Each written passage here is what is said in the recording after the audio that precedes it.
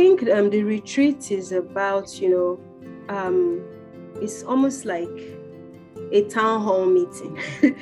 you know, you've learned, you've learned, you've learned. Then it's an opportunity for everybody to come together in one space, you know, more interactive, in real time, you know. Yes, I think that's um, what the, the, the retreat does he brings everybody, you know, it's almost like halftime. You've played the match to a level, so halftime, let's debrief what worked, what didn't work, what can we do going forward? Because as much as we came to learn, we also I noticed that there's always that question about feedback, what can be done, what you know, stuff like that.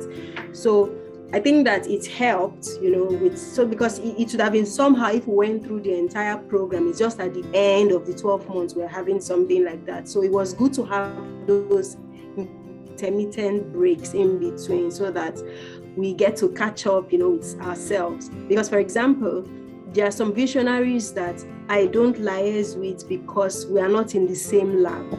So I don't get to see them as often, you know. But in a retreat setting, you get to see everybody at the same time. So, yes, I think that that's what the retreat does. So, in terms of the offerings of VCAP, I think it helps in that sense because it you know brings that um, touch point for everybody to come together then um, in terms of my own positioning I'm, I'm, I'm somebody that really likes to learn, right? So because I want to learn and I don't really have a lot of people I'm getting the kind of information I'm getting in VCAP from.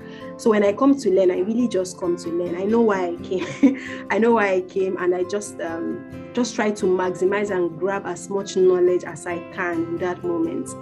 So it has helped me. One of the things that VCAP has done for me is increase my knowledge level.